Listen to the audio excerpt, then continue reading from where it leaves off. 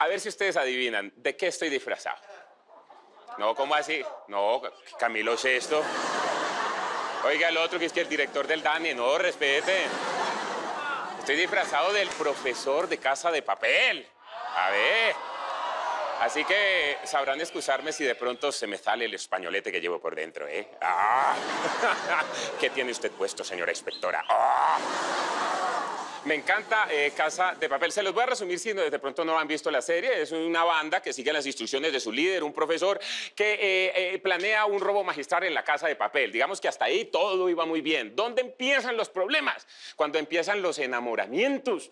Al interior del atraco eso empiezan a enamorarse rehenes con rehenes, captores con captores, rehenes con captores, captores con rehenes del mismo modo, pero en sentido contrario, me redé. Ahora es que entiendo a la señorita Antioquia, bendito sea mi Dios. En serio, eso fue terrible. Incluso hasta unos rehenes se enredaron con dos camarógrafos. Eso fue tenaz. El libretista por ahí estuvo enredado con la de vestuario. Eso es un enamoramiento increíble allá. Y hace poquito sacaron la versión coreana y a mí me dio como rabia. Yo dije, no, hubieran sacado la versión colombiana de Casa de Papel. ¿Usted se imagina esa maravilla? El profesor estresado en pleno atraco y encomendado a la Virgen de Chiquinquirá. Eso sería una espectacular. Es más, no serían, los, los de la banda no tendrían seudónimos como capitales del mundo, sino como municipios de Colombia. Imagina el profesor diciendo Chinauta y Chocontá. Ustedes se encargan de distraer a los guardas. Apulo. Vaya que le den el refrigerio y hágase pasar por mariquita. A la poima y Zipaquirá me curen la espalda. Suena bueno, suena bueno.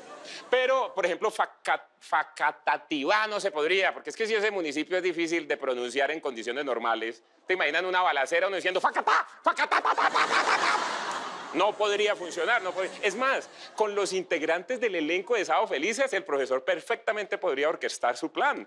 Vea, si se le llega a armar la gorda, ahí tiene a Polilla, que es experto en el tema, eso no tiene valla. Si al profesor lo llegan a coger, ahí tiene a Piroberta, pero coger del verbo agarrar, por favor, por favor, por favor. Piroberta que le cubre la retaguardia. Por favor, por favor. Es más, tendría al, Berlín criollo, que es carro loco. Uy, papi, carro loco, ese enreda un duende, ese en cinco minutos tiene los guardas borrachos ya a punta guaro. Y cuando ya los guardas están emprendiditos, ahí tenemos a Barbarita, que es la que se mete en todo. No le digo que funcionaría, funcionaría. Lo único malo es que no podrían sacar una segunda temporada.